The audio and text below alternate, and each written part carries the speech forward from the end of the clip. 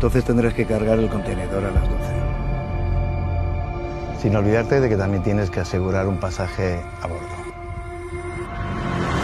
Todo se puede hacer. Ahora dime a quién tengo que meter.